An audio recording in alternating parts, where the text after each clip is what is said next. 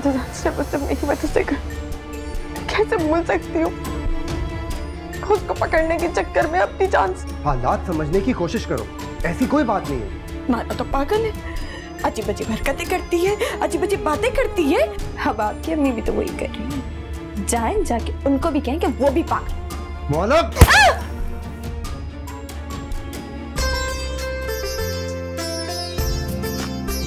माला मीर। जुमेरात और जुमा शब आठ बजे।